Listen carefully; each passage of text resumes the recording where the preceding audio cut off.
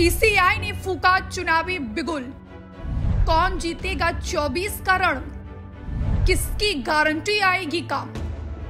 देश की जनता ही हर राजनीतिक पार्टी का समाधान। मतदाता के लिए खास देश, संस्कृति, समाज, स्वाभिमान।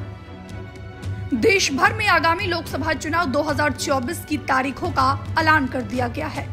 नई दिल्ली के विज्ञान भवन में आयोजित इलेक्शन कमीशन ऑफ़ इंडिया की प्रेस कॉन्फ्रेंस में कई बड़ी बातें कही गई। 543 लोकसभा सीटों के लिए आने वाला आम चुनाव सात फ़ेज़ में होगा। पहले फ़ेज़ की वोटिंग 19 अप्रैल को और आखिरी फ़ेज़ की वोटिंग 1 जून को होगी 4 जून को नतीजे आएँगे। वोटिंग से लेकर नतीजे आने तक का समय कुल 46 दिन का है। सुनिए प्रेस कॉन्फ्रेंस की अध्यक्षता कर chief election commission of India Rajiv Kumar ने खास बात क्या कही? Schedule of the Lok Sabha poll phase one will do it in seven phases as was done last time seven phases phase one will start from twenty March notification five days from now and last date of withdrawal would be 30th March and date of poll would be 19th of April. इसमें phase one का schedule एक दिन से हमें दो बार करना पड़ रहा है, फिर बिहार के लिए वहाँ एक फेस्टिवल है तो नोटिफिकेशन की डेट सेम है, लेकिन बस लास्ट डेट ऑफ़ विड्रॉल हमें 30 मार्च की जगह 2 अप्रैल सिर्फ़ बिहार की फ़र्स्ट फ़ेज़ के लिए करनी पड़ रही है, क्योंकि वहाँ त्योहार है और 19 अप्रैल को यहाँ वोटिंग होगी और पूरी कंट्री में चार जून को काउंटिंग आगे सीईसी e ने कहा, एक बार फिर भारतीय मिलकर अपनी इच्छा को ज़ाहिर करेंगे। ये ऐतिहासिक मौका है, दुनिया के सबसे बड़े और सबसे जीवंत लोकतंत्र के रूप में भारत पर सभी का ध्यान केंद्रित रहता है। देश के सभी हिस्से इसमें शामिल होते हैं। चुनाव का पर्व देश का गर्व है। ईसीआई द्वारा चुनावी बिगुल फूके जाने पर प्रधानमंत्री नरेंद्र मोदी ने एक्स पर अपनी प्रतिक्रिया साझा करते हुए लिखा, लोकतंत्र के सबसे बड़े महापर्व का शुभारंभ हो गया है। चुनाव आयोग ने 2024 के लोकसभा चुनाव की तारीखों की घोषणा कर दी है। बीजेपी एनडीए इन चुनाव में उतरने के लिए पूरी तरह से तैयार है। सुशासन और जनसेवा के अपने ट्रैक रिकॉर्ड के आधार पर हम जनता जनार्दन के बीच जाएँगे। मुझे पूरा विश्वास है कि 140 करोड़ परिवारजनों और छियानवे करोड़ से अधिक मतदाताओं का भरपूर स्नेह और आशीर्वाद हमें लगातार तीसरी बार मिलेगा। अपनी प्रेस कॉन्फ्रेंस के दौरान सीईसी ने कुछ और ज़रूरी बातें साझा की, जिनमें पहली ये है कि लोकसभा के साथ चार राज्यों, आंध्र प्रदेश, ओडिशा, अरुणाचल प्रदेश और सिक्किम में विधानसभा चुनाव की तारीखें भी जारी कर दी गई है।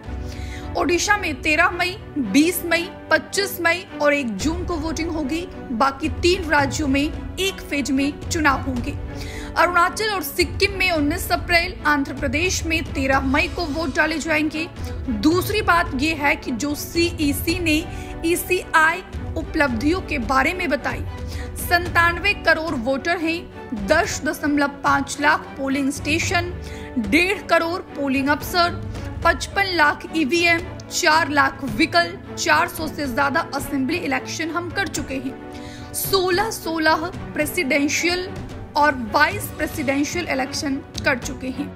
अपनी बात कहते हुए सीईसी e ने आगे कहा कि पिछले सवा साल के भीतर 11 इलेक्शन हुए हैं। सभी शांतिपूर्ण तरीके से हुए हैं। कोर्ट केस कोर्ट की टिप्पणियाँ कम हुई है। फेक न्यूज़ पर एक्शन लेने का तरीका बहुत मज़बूत हुआ है। पिछले दो साल में हमने इसे और मज़बूत किया है। हम कहाँ पहुँचना चाहते हैं, ये भी आपको दिखाएँगे। फ़र्स्ट टाइम वोटर्स के बारे में बात करते हुए सीईसी e ने कहा कि 96.8 करोड़ इलेक्टर्स है। उनचास दशमलव सात करोड़ मेल सैतालीस करोड़ फीमेल हैं। 1.82 करोड़ फ़र्स्ट टाइम वोटर्स हैं। 18 से 29 साल के उन्नीस दशमलव चौहत्तर करोड़ वोटर्स थे सीईसी ने कहा, ये सभी अपना फ्यूचर खुद तय करेंगे। चौरासी दशमलव चार लाख लोग दिव्यांग हैं और वो वोट डालेंगे। बयासी लाख लोग पचासी साल से ऊपर हैं। 2.18 लाख सौ से ज़्यादा के उम्र के हैं। अड़तालीस हज़ार ट्रांसजेंडर्स हैं। पुरुष और महिला के बीच वोटिंग अनुपात पर बात करते हुए सीईसी ने कहा कि 12 राज्यों में 1000 से ऊपर जेंडर रेशियो है। महिला वोटर्स की संख्या पुरुषों से ज़्यादा है। 1.89 करोड़ नए वोटर्स से पिचासी लाख महिलाएँ हैं, जिस किसी की उम्र 1 जनवरी 2024 को 18 साल नहीं हुई थी, उसका भी नाम हमने एडवांस लिस्ट में लिया। तेरह दशमलव चार लाख एडवांस एप्लीकेशन हमारे पास आई है। पाँच लाख से ज़्यादा लोग एक अप्रैल से पहले वोटर बन जाएँगे।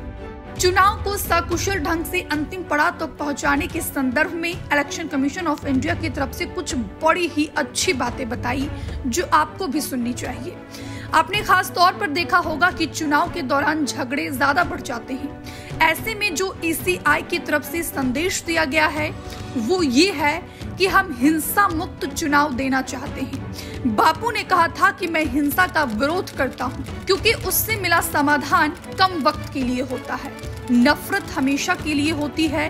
आगे सीईसी ने भारतीय कवि बशीर बद्र साहब का शेर पढ़ते हुए कहा कि मैं राजनीतिक दलों से अपील करता हूँ कि डेकोरम मेंटेन रखें। अपनी स्पीच में निजी हमले ना करें। बशीर बद्र का शेर पढ़ते हुए राजीव कुमार बोले, दुश्मनी जमकर करो, लेकिन ये गुंजाइश रहे, जब कभी हम दोस्त हो जाएँ तो शर्मिंदा ना हो। वक्त की नजाकत को परखते हुए सीईसी एक बात और बोले कि आजकल जल्दी जल्दी दोस्त बनने और जल्दी जल्दी दुश्मन बनने की प्रक्रिया चल रही है। Bureau report, Punjab Kesari TV. हमसे जुड़े रहने के लिए हमारे YouTube चैनल को सब्सक्राइब करें और नई वीडियो की नोटिफिकेशन के लिए बेल आइकॉन को दबाएँ।